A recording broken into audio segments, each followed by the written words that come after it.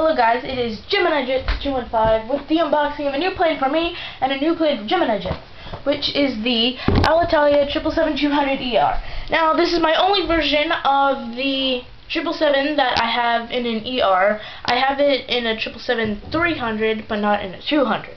So, well, this was just released about a few months ago, I'm not sure when, but it is an Italian airline, and here's the plane, and here is the information of the plane, and turn it around to the back, and we have the regular back of the box with the animation of the plane taking off, or, yeah, taking off.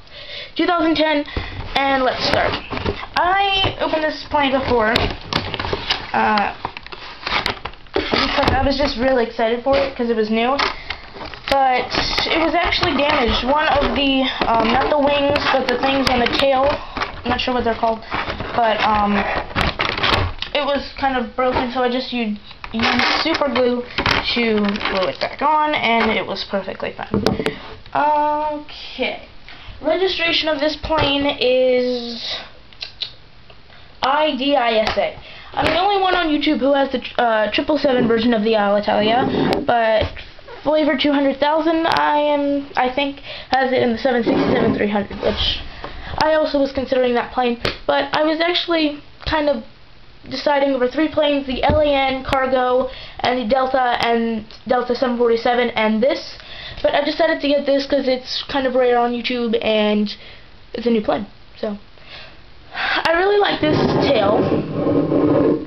It's really nice.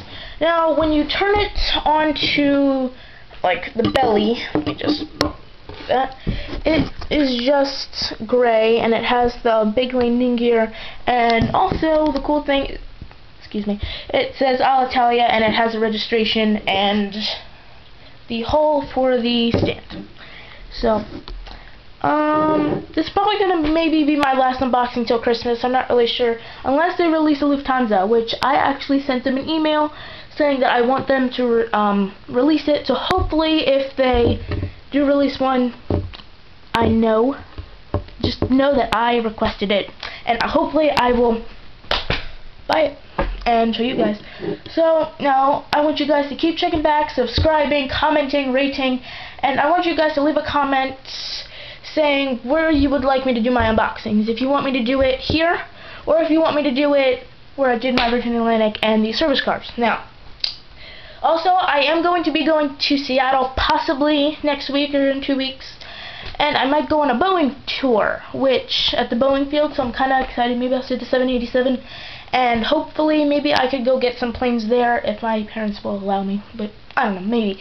So, do what I said, please. Okay, peace. Bye.